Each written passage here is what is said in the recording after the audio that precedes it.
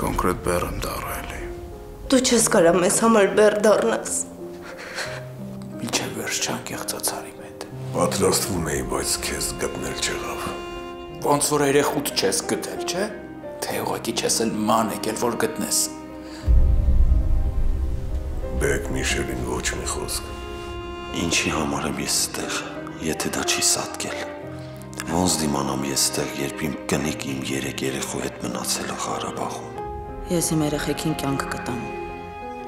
Ես Լեռնոյի նման չեմ, որ դատարկ խոստումներ տամ ու կորեմ։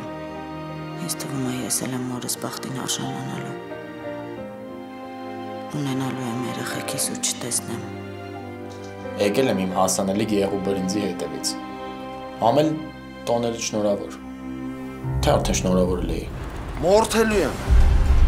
Քեզ էլ իրանել։ Արա ես քեզ բան չեմ խոստացել։ Ես կատակ չեմ անում։ Դու ինձ կտաս իմ հասանելիք ժառանգությունը ու ես քեզ հանգիստ կթողեմ։ Ո չկա։ Եթե մեռած լիներ, լուրն ամբրոպի պես կպայթեր օդում։ Մեռած չի։ Բայց մեռածին հավասար է։ Գա։ Ապեր, ապեր, ապեր։ Ապեր ջան, ապեր ջան։ Անունը Սարա էր։ Ինքն էլ է բժշկուհի եղել։ Ամուսինն էլ ազատամարտիկ։ Ռաֆին, Հա, Եթե խելոք լինեիր, դու քեզ կվերացնեիր ու թույլ չէիր տա, որ ես քեզ հասնեմ։ Ես որ հասակես,